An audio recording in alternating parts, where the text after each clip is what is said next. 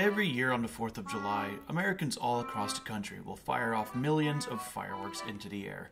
This year alone, it was estimated we spent $2.7 billion on fireworks. So, as I was filming the local display of fireworks, telling myself I was getting these photos and videos just for pure enjoyment with my friends and family, when in reality I can't stop working, I got started thinking how would these firework explosions look underneath a thermal imaging camera?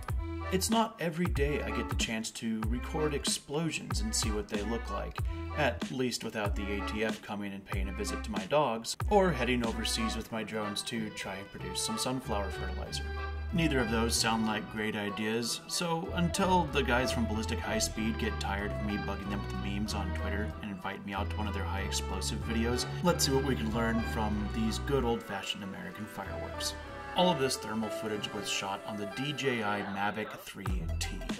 I'm a huge fan of the Mavic 3T, not just because of its capability for thermal imaging, but because it takes really great high quality photos and videos too. This isn't a review video though, so let's just get to the action. I filmed the fireworks in three different color spectrums, which doesn't affect how the thermal spits out information, it just helps differentiate between the thermal energy coming into the camera sensor. The three spectrums I used were hot iron, white hot, and tint. I filmed the fireworks in two different bands, which we will call fine and wide. Fine will give you a lot more details about the thermal energy source that you're looking at, but maxes out right around 350 degrees Fahrenheit. Wide will give you a lot larger spectrum of thermal energy to look at, but the colors will end up muted and muddled, making it a little bit harder to see those finer details. The wide band maxes out right around 950 degrees Fahrenheit though, so you've got a lot larger ceiling to get to. Both have great benefits to them, and I swap between them both often when flying search and rescue missions or firefighting missions. This is what the fireworks looked like being fired off from several hundred feet away while being filmed on the wide view portion of the camera. This is how the fireworks would mostly look like to the naked eye. And this is that same exact clip I just showed you, but filmed on the wider, broad spectrum of the thermal camera, and of course filmed in the tint coloration. And here are both of those clips played at the exact same time. Two things stand out to me really quickly looking at this video. The first is the amount of heat generated by the firework being shot off. I did not expect so much thermal energy to be generated from just a small little firework being fired into the air. And second is the exact opposite how little heat was generated from the firework explosion. You can see as the sparks start to drop down, they lose almost all of their thermal energy within the first second or two. Considering how long and how bright those sparks burned from that firework, I was expecting to see thermal energy signatures falling all the way down to the ground. I'll admit, at first I was a little disappointed. I expected it to be way more heat signature from these fireworks than what really showed up on the thermal sensor.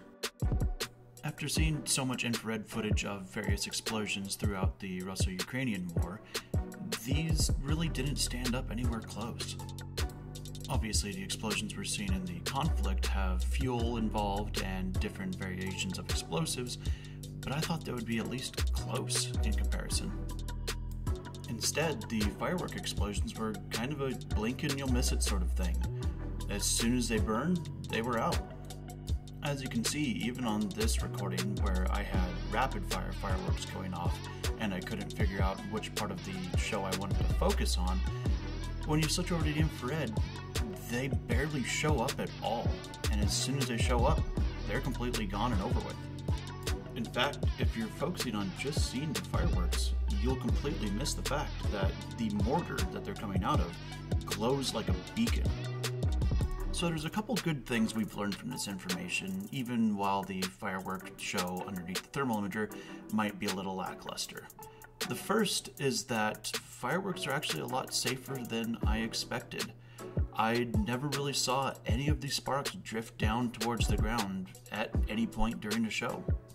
And secondly, if you're taking fire from mortars or cannons, or you're simply on the lookout for potential illegal fireworks shows, go ahead and keep your eyes trained on the ground and look for the jets of flame that come up, which might be just a couple of sparks on normal view, but are a huge source of heat for infrared. And to be clear, I'm not trying to downplay the dangers of fireworks, whether it be their explosions or the thermal energy produced by them. After all, at the end of the day, they are mostly legal bombs that we set off for fun and should be treated with respect due to bombs. I guess I just went into it expecting to see something way more spectacular in the thermal imaging than I really did. But hey, life is like that sometimes. All I know is next fireworks show I go to, I will definitely be focusing more on catching the spectacle than wondering what it looks like underneath thermal imaging. And since I haven't hit the 8 minute mark for my AdSense yet, I'm just going to go ahead and throw in some more clips of how the fireworks look like in comparison. I know it's well past 4th of July at this point, and no one's thinking about fireworks, but this will just be something interesting to keep in mind for the next time July 4th or the New Year celebration comes around when you see the fireworks exploding in the sky. Thank you for watching and enjoy the rest of the show.